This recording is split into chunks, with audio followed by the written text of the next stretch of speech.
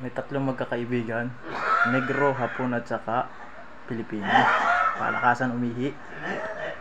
Ang unang umihi, Negro. Paghubo ay aba, 15 di pa ang layo. Nagawa yung dalawa eh. Yung Pilipino at saka Hapon. Aba, malayo, malayo. Sumunod naman eh yung kan, Hapon. Aba, pagkahubo ng Hapon ay ah, tumingala muna Ah, parang hindi ko yata mahihigitan yung sa negro. Parang 15 di pa malayo-layo na yun. Ah, pagkahubo nung hapon ay ah, pag ihi ay 30 di ba? Layo. Ah, ah, palakpak yung kan yung hapon. Ah, panalo ka na talo ka ng ka na gawin. Ay yung Pilipino naman. Naghubo.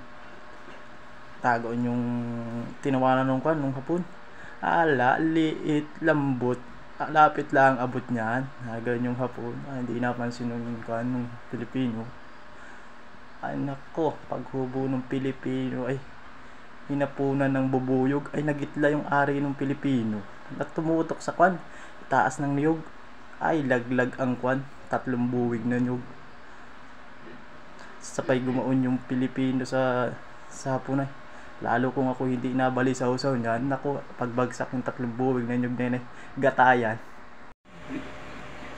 Shoutout kay Mark John Arabis. Baka gusto mong talunin yung Pilipino. Ah, parinig ka lang sa bahay. Tsaka kay Kwan kay Glenn Pineda. Malakas umihi yan. Shoutout sa iyo